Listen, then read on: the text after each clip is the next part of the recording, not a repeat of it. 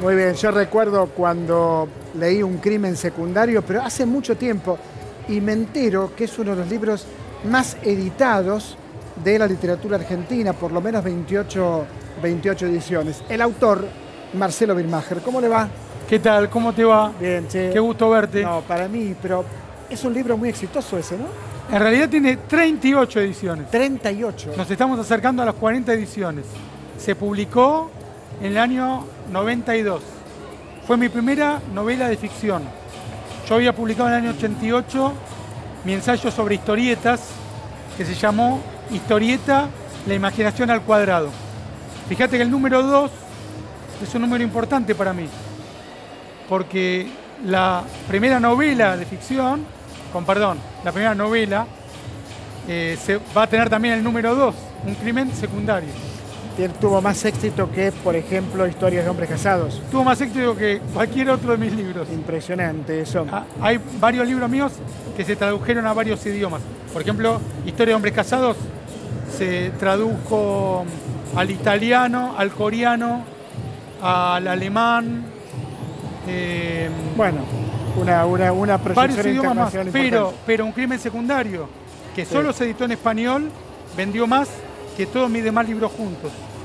Hay algo que, que siempre me impactó de la literatura de, de Marcelo Birmacher, que es crear un, un lugar, que por supuesto ese lugar está, que es el barrio del Once, pero la creación literaria, en mi opinión, es el primero que lo logra, ¿es así? El, Sí. el 11 creo que ilegítimamente me lo apropié y yo me considero en ese sentido un incursor de haber construido todo mi escenario literario en, en un barrio. No, no, no conozco muchos casos similares previos No, no, por eso. en, en la literatura argentina. No los conozco. No, no hay, Por ahí hay. existen, pero yo No. no los conozco. No, el barrio del Once es único. Me, me- me lo apropié sin pedirle permiso a nadie. Soy un ocupa literario. Y además te gusta mucho el barrio del Once. Creo que tenés un estudio en el barrio del Once. Creo que salís a caminar, lo que lo ves es algo tuyo. Permanentemente. Es, eh, desde que soy un niño, nunca me moví de ahí y siempre escribí ahí. Desde los ocho años. Cuando iba al colegio Cornelio Saavedra, en Sarmiento y, Cerca. y, y Paso. cerca, sí. Sarmiento y Paso. No casualmente ahora es un museo del cine, Mirá. ese colegio, no casualmente. Escribí mis primeras ficciones sobre el barrio y lo hice ininterrumpidamente hasta el día de hoy, ya 41 años después. Nunca me moví de ahí. Mi oficina está ahí, paso 10 horas por día ahí. No duermo ahí, pero sueño ahí. Claro, esto le da también el carácter de verdad que tiene cuando. Me acuerdo, me acuerdo del Once. ¿Te acordás de, Una verdad de- que de no la es novela El exactamente- Once? Por ¿Te supuesto. acordás? Es uno de mis libros que más me costó escribir. Es un libro pequeño, pero que tardé tres años, porque yo siempre escribía sobre el 11, alrededor del 11, ficciones, pero nunca tuve que narrar el barrio. En el libro El 11 narro el el barrio. barrio. Es el, no solo es el tema, es el alma del libro. Me llevó tres años, pero por suerte lo terminé y es uno de mis libros menos vendidos, pero más comentados. Eh, otro libro que me gustó mucho tuyo es el de una mujer, Historia de una mujer. claro, que, que no es una mujer bella, es otra cosa, otro mundo. Lo definiste de un modo inmejorable. Gracias. Supera la belleza. Claro, No se puede comparar con la belleza humana. exactamente. Es algo más que la belleza de los griegos. Algo más. Pero en el libro mismo lo dice. No era belleza. Era algo que no podemos definir. Y que vuelve locos a los hombres. Es verdad. O sea que ahora que lo pienso es tal cual lo Los decís. lleva por el camino de la destrucción.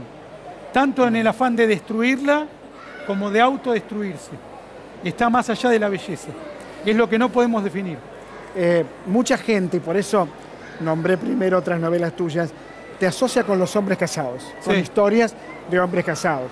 Dice Birmacher, historias de hombres casados. Es ineludible. Eh, bueno, son buenas las historias, eh, todos tenemos curiosidad por esas historias. Es una cerradura claro, ese libro. claro. Esos tres libros son una cerradura. ¿Qué significa? Y que la gente mira por ahí Exacto. para ver secretos, ¿Qué es lo que ocurre detrás de la fuga- cerradura? cosas fugaces, furtivas, pero en definitiva son historias de amor. Claro. Es cada sexo mira por la cerradura el vestuario del sexo contrario. Pero son historias de amor como, con perdón, puede ser Madame Bovary. Juana Karenina, que también Sí. son historias de hombres casados. No, ahí sí, Sí, sí, a diferencia de apropiarme del 11, ahí sí que no conté nada nuevo. Son las viejas historias de amor. Pero me parece que las traje al mundo contemporáneo de un modo que resultó seductor. Claro, muy seductor porque tres, tres, tres libros. Son tres libros, son mil páginas de historias de amor. Me parece que en algún momento la literatura perdió el eje de contar historias, de contar una, un- una historia que empezara y terminara y que fuera de amor. Yo me aboqué a reconstruir lo clásico, a volver a la historia de engaños y desengaños, de un amor eh, mortal, un amor fugitivo, un amor único, y contada desde el barrio de Once, un personaje judío que retoma lo milenario de los judíos y lo fugaz de lo contemporáneo, y siempre con historias de amor. Eso es historia de hombres casados. es impresionante la, la identidad judía, qué potente en tu literatura. También en ese punto, siendo una persona joven, tu Ya no, literatura, ya no, bueno, ya. tu No literatura también en ese punto es única. ¿No? Digo, no hay muchos no, escritores no hay muchos narradores argentinos que mantengan ese interés por la identidad judía. y eh, que se dediquen al cuento. La mayor parte de mis libros son de cuentos. Soy un narrador básicamente de cuentos. En eso también me parece que ocupa un lugar inusual en la literatura argentina contemporánea. ¿Cómo, cómo es tu cocina literaria? Llego a las siete y media, 8 de la mañana. Esto en varios de mis reportajes me compadeciste por levantarme tan temprano. Eh, lo, hablamos Seis- en, lo hablamos en Tucumán. Exactamente. Una vez en Tucumán. Exactamente, en la provincia de Tucumán. Pues yo siempre estoy en la calle de Tucumán, pero también estuvimos juntos en la provincia Sí. de Tucumán. Me despierto a las 6 de la mañana y a las 7 y media ya estoy en mi oficina o corrigiendo o contestando mails respecto de literatura o escribiendo. Más corrigiendo y contestando que escribiendo. Porque la inspiración, como decía Juan Gelman, es una señora muy caprichosa. La corrección es disciplina, pero la inspiración es misteriosa.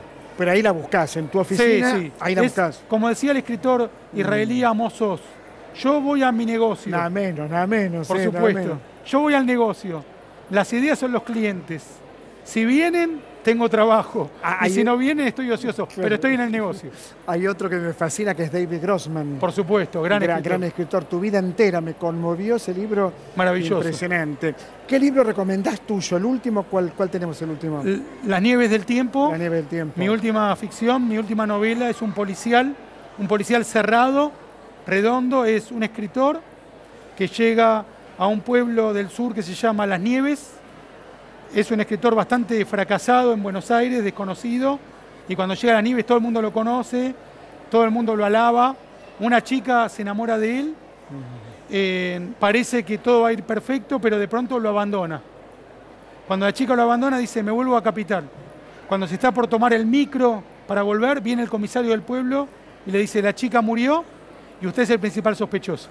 Qué bien que la cuenta, Eso qué bien, qué bien que la cuenta. Bueno,